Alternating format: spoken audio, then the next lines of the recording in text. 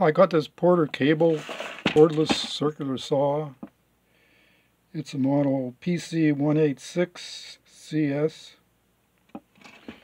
And uh, it's not working. It's uh, uses these 18 volt NiCad batteries. Uh, as you can see, I've already got it all apart. It's pretty obvious, just a bunch of Phillips screws. There is one screw under this label you have to peel off, and then you've got to take the cover off the motor, two more screws uh, underneath there to get loose. And then the whole side comes off. So wasn't working. I was pretty sure it was going to be just a maybe a dirty switch. And here's the problem. This contact on the uh, battery connector has, has come loose. So you try to put in the battery, it just pushes the connector back and uh, doesn't make contact. So I don't know, I don't see really any way to reattach this to the plastic. So what I'm going to try to do is put something in there to prevent the uh, contact from going back. So found this piece of bamboo.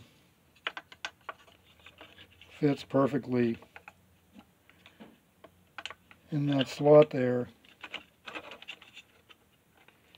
And I think with that in there, that uh, that's going to prevent the uh, prevent the contact from being pushed back, and then it will uh, connect with the battery, and we'll be back in business. So just have to cut this piece of bamboo to length.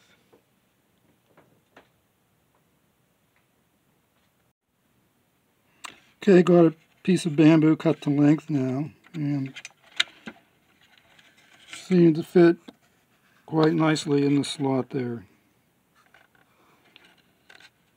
and certainly should prevent that contact from being pushed back just hope the contact is uh, stable enough to uh, go into the battery but uh, just have to put this back together and then we'll see.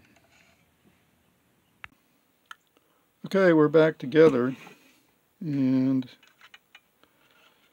there's that loose contact. Looks pretty stable now. Let's see if we can get a battery in.